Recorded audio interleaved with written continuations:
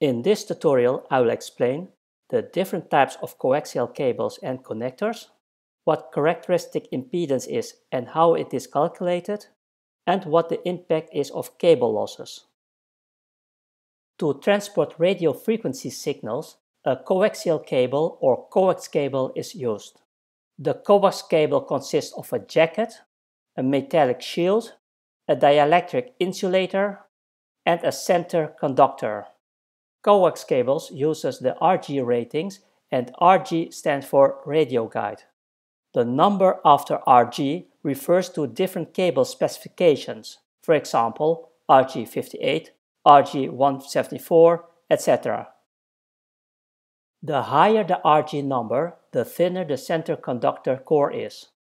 The suffix U stands for universal, which means for general utility use, for example RG174/U.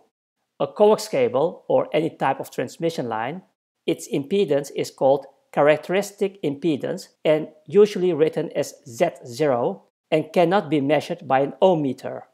A transmission line characteristic impedance is measured by an instrument called the time domain reflectometer or an oscilloscope. This impedance is a measure of resistance to the flow of electrical energy. There are two main types of coaxial cables, ones with an impedance of 75 ohms and ones with an impedance of 50 ohms. In general, 50 ohm coax cables are used for data communications, for example, LoRa, Wi-Fi, etc., or amateur radio. In general, 75 ohm coax cables are used for digital audio or video applications. The coax cable impedance remains constant regardless of the length of the cable.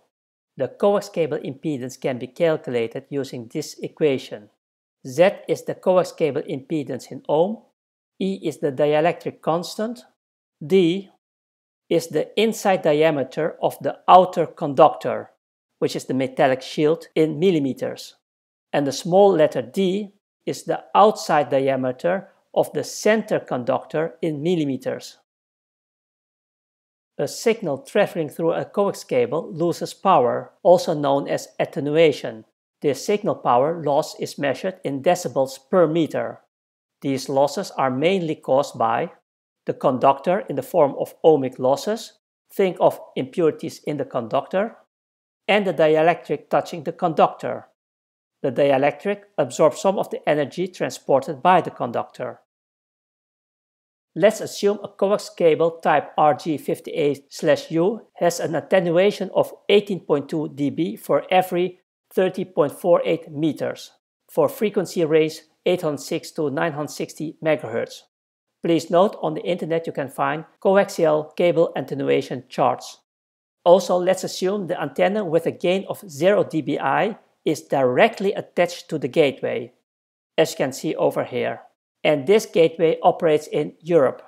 This gateway is placed outside at location A. It is not located indoors.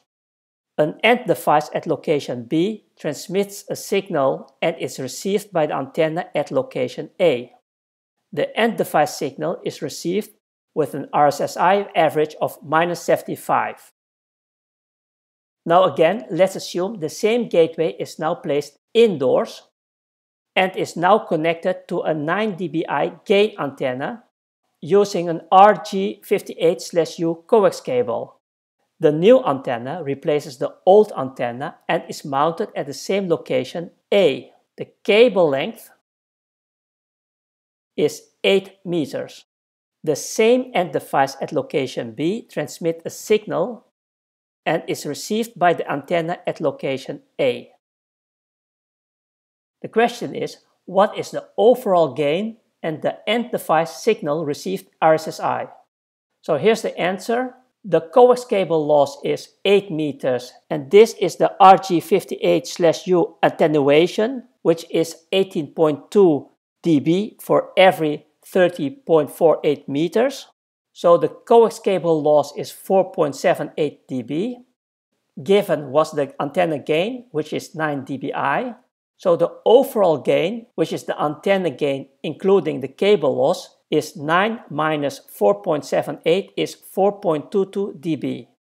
The previous RSSI average was minus 75, which means the new RSSI average is minus 75 plus the overall gain of 4.22 dB is minus 70.78.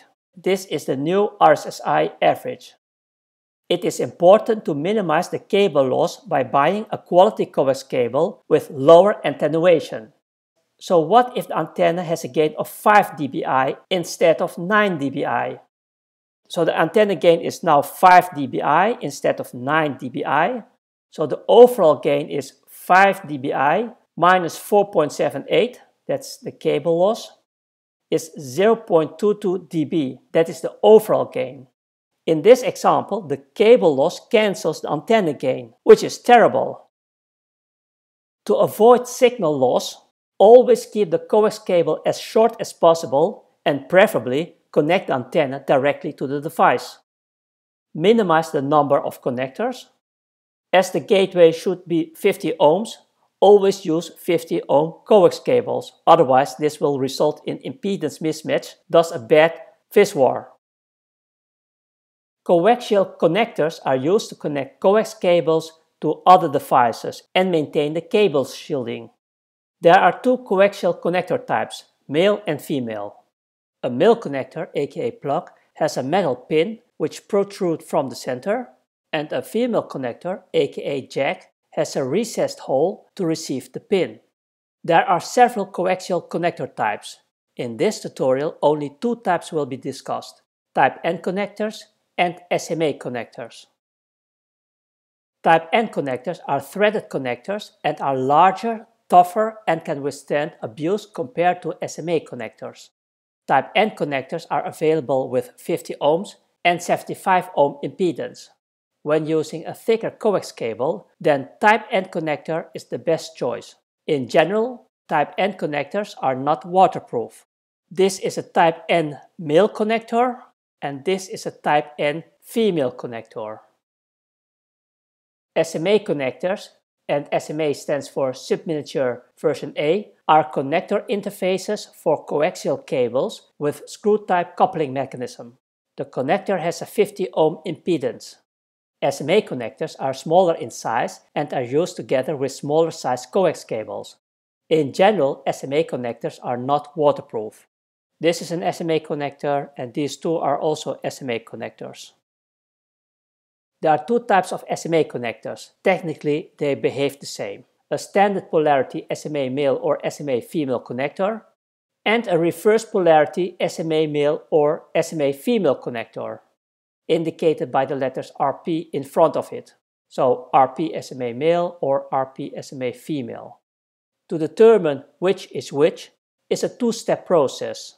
First, look at the barrel. So this is the barrel. If the barrel has a thread at the inside, it is called SMA male. If the barrel has a thread at the outside, which it is, then this is called SMA female.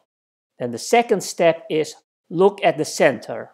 So this is an SMA female and because it has a sleeve, meaning a hole, then this connector is called SMA female. If the SMA female has a pen, then this connector is called RP SMA female. Let's look at several examples.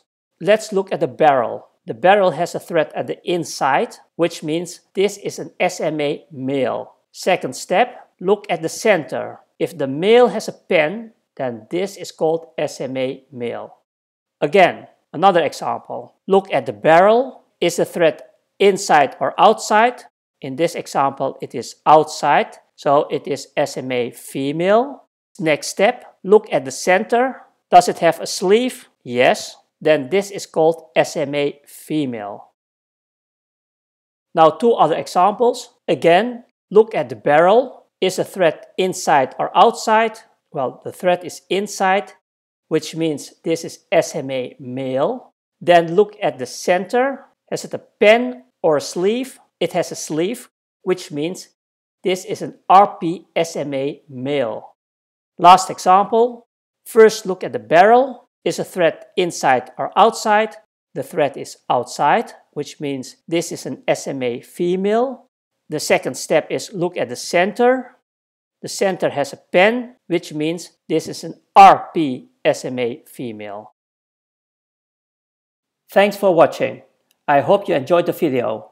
Please hit the like button and don't forget to subscribe. If you have questions, leave your comments below. I'll do my best to answer them.